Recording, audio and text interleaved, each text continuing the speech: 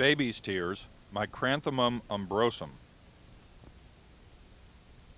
Baby's tears is a small native aquatic plant. It may be found totally submersed, or it may grow in mats exposed on the mud. Baby's tears grows along slow-moving streams and rivers, and in shallow pools. It can grow in both deep shade and bright sun. The stems of this creeping plant are slender and are typically 6 to 8 inches long. Baby's tears leaves can be either submersed or immersed. They are small, light green, and nearly round. The leaves are thin and succulent and about one quarter inch in diameter. They are opposite on the stem. Baby's tears has very tiny white or purplish flowers that are inconspicuous and difficult to find.